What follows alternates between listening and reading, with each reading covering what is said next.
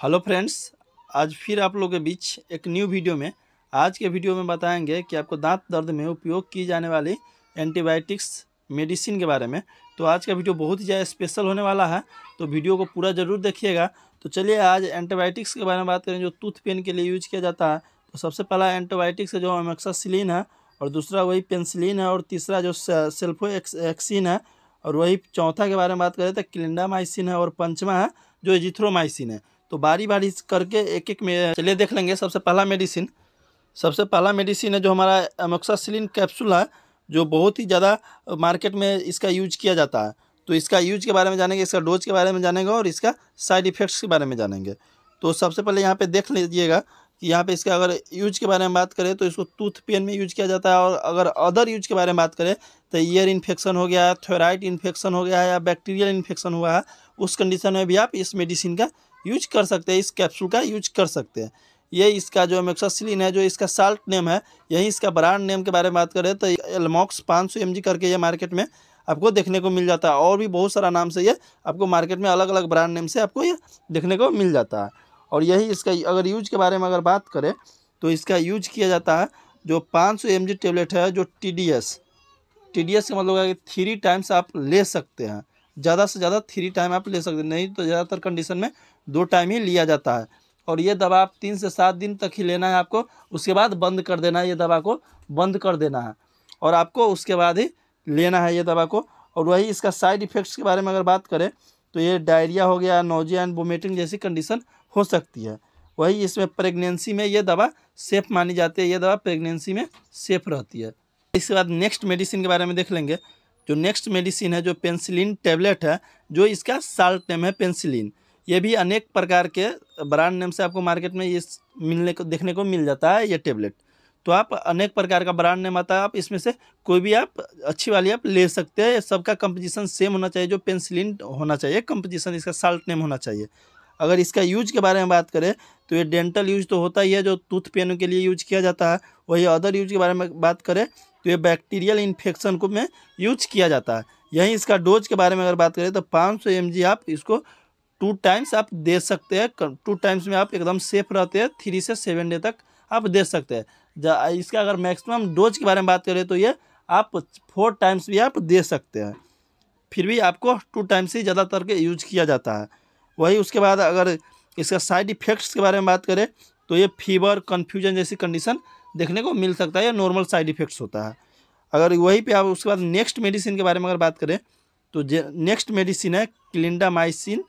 Capsule है, जो अगर इसका, ये इसका साल्ट नेम हो जाता है, जो क्लिंडामाइसिन है जो इसका साल्ट नेम है। जो आप यहाँ पे देख सकते हैं, जो क्लिंडामाइसिन इसका साल्ट नेम है। वही इसका यूज़ के बारे में अगर बात करें तो इसका यूज़ के बारे में बात करें तो जैसे कि डेंटल यूज़ हो गया, जैसे टूथ पेन हो गया बैक्टीरियल इन्फेक्शन हो गया स्किन इन्फेक्शन हो गया, या ब्रोनकाइटिस हो गया, उस कंडीशन में आप इस टेबलेट का यूज़ कर सकते हैं।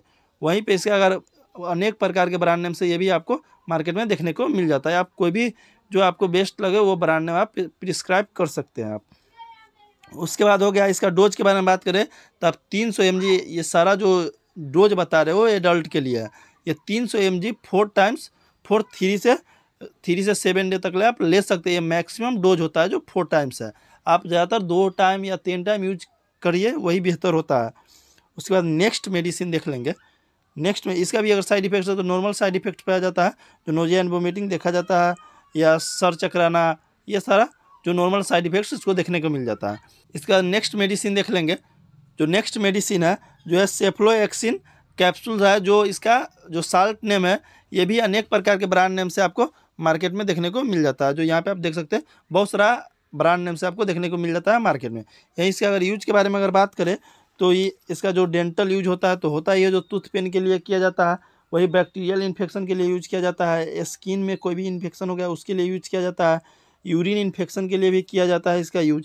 तो ये सारा इसका जो अदर यूज़ हो गया, जो मेनली रूप से यूज़ हो गया, जो आपको इस वीडियो में का जो पर्पस है वो जो टूथ पेन के लिए यूज़ किया जाता है। ये भी इसका बहुत सारा अदर यूज़ भी होता है।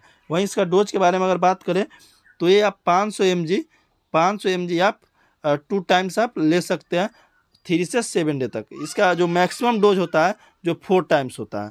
वहीं पे इसका साइड इफ़ेक्ट्स के बारे में अगर बात करें तो ये भी इसमें भी नॉर्मल साइड इफ़ेक्ट्स देखा जाता है जो नोजिया एंड वोमिटिंग शेयर चक्कर आना या हाइपर टेंशन इस सारा कंडीशन सब थोड़ा बहुत देखने को मिल जाता है। ये ज़्यादातर नहीं देखने को मिलता। है वहीं नेक्स्ट मेडिसिन देख लेंगे। जो नेक्स्ट मेडिसिन है, जो एजिथ्रोमाइसिन टेबलेट है, जो आप यहाँ पे देख रहे हैं, अगर इसका यूज़ के बारे में अगर बात करें तो इसका यूज़ हो गया जैसे डेंटल यूज़ टूथ इन्फेक्शन जैसे टूथ में दर्द होना, दांत में दर्द होना उसके बाद नेक्स्ट जो उसके बाद अदर जो यूज़ होता है, जो ईयर इन्फेक्शन हो गया ब्रोंकटाइट ब्रोंकाइटिस हो गया, उस कंडीशन में इस मेडिसिन का यूज़ किया जाता है। वहीं पे इसका इसका भी बहुत सारा ब्रांड नेम मार्केट में आपको देखने को मिल जाएगा, जो आप यहाँ पे देख सकते हो। बहुत सारा ब्रांड नेम आता है, जो ये मेडिसिन बहुत सारा ब्रांड नेम में आता है। वहीं अगर इसका यूज़ के बारे में बात करें तो ये पाँच सौ एम जी वन टाइम्स लेना है, वो फोर डे तक ही कंटिन्यू लेना है।